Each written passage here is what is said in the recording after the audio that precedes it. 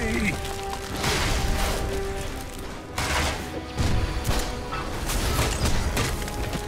Welcome to a typical night in Gotham. Scarecrow's gang has overrun the East End, pumping fear gas into the atmosphere. They're using an abandoned construction site to distribute fear gas foggers to the rest of Gotham.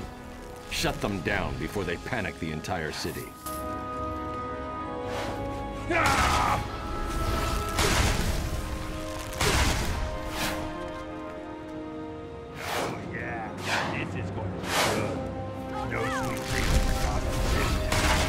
Don't hurt me!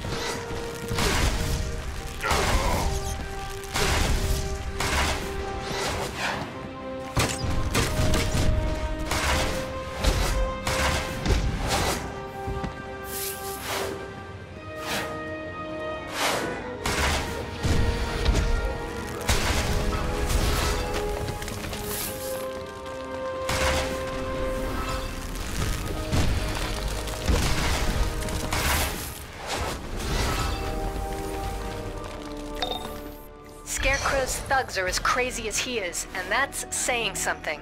The more of them you put back in Arkham Asylum, the better.